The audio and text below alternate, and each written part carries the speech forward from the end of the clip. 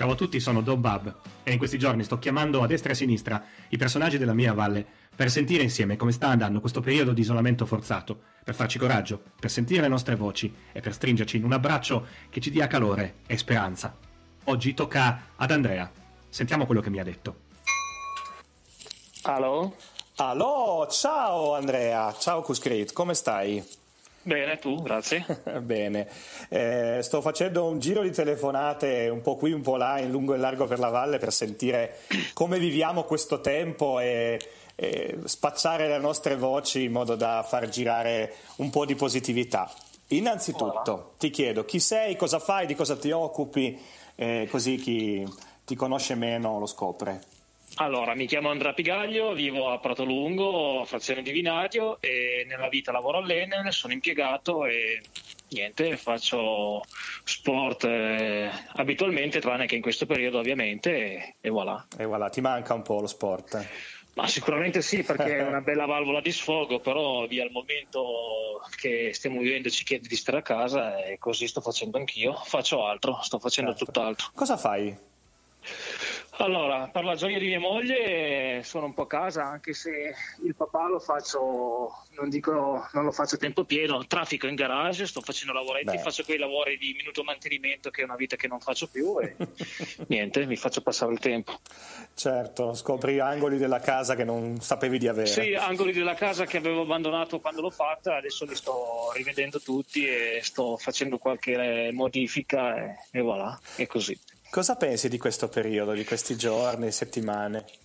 Eh, diciamo che è una cosa che ha spiazzato tutti, penso, eh, perché eh, anche parlando con le persone che hanno più anni di me, una situazione del genere non se la ricordano. Eh, Sicuramente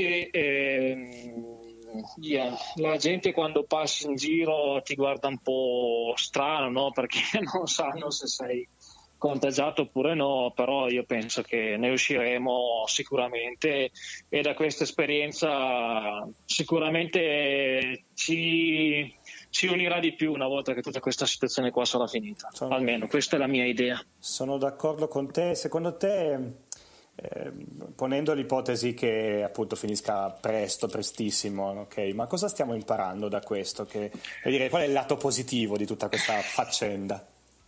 Sicuramente che eh, sono, venuti i, sono, venuti meno i, rapporti umani, questa cosa qua secondo me la gente ne sta patendo abbastanza, anche già soltanto il fatto di incontrarsi, che ne so, per un aperitivo o per uh, fare due parole, qualsiasi cosa. Sì, sì. Eh, la gente ha capito che comunque i rapporti sociali sono importanti, spero almeno questo è quello che, che sto, sto pensando io e che comunque in un momento di sofferenza generale dove tutti quanti stiamo comunque patendo la, la situazione e che tutti quanti comunque dobbiamo sottostare a certe regole, via, secondo me anche a livello di unità, di, ci riporta un po' tutti certo, quanti certo, anche, ricchi e poveri sullo stesso piano. Eh, anche in paese proprio con le persone, sai quando si radicano le divisioni tra le famiglie, i cognomi, le case, sì, le stupidate, poi ti accorgi che sono tutte cose in fondo esatto. piccole. Anche perché noi, vabbè, nelle, la cosa è generalizzata a Italia, ma si può parlare anche di, di eh. mondo ormai, perché tanto ah, sì, sì. è stata dichiarata come pandemia però il fatto è che poi di fronte a queste cose qua non, cioè, tutto il resto, tutte le cose stupide che magari ci capitano passano sicuramente in secondo piano e ti fanno pensare ma quelle lì alla fine erano più delle stupidaggini anche perché se uno guarda la Lombardia i morti che ci sono quotidianamente no, fa paura ecco. eh, e poi anche appunto eh, mi viene in mente che mh, adesso di là di questa emergenza che è sanitaria è legata alla salute però se ci pensi quante cose eh, su, su, cui noi potremmo fare la differenza e in realtà ce ne siamo sbattuti fino adesso, perdonami il termine, e invece sono sì, importanti sì. l'ambiente, la, la, la cura de, de, de, della bellezza che abbiamo intorno. Noi siamo fortunati perché aprire la finestra davanti ai, eh, ah, sì. la, la, ciastella, hai capito, è meraviglioso. Invece noi eh, in larga parte del mondo viene tutto considerato sfruttabile, insomma, dominabile. Forse io spero ci sveglieremo anche un po' più attenti a questo. Sì, però sai cos'è? Io spero di sì, spero che, che questa cosa qua non, eh, cioè, che rimanga nel, all'interno di ogni persona che ha, venuto, che ha vissuto questo momento, perché non vorrei che poi, storia, come tante volte succede, la storia insegna, ma poi alla fine l'uomo non è bravo a cogliere l'insegnamento che, che ha avuto. Speriamo di Speriamo no. Di no, dai, dai.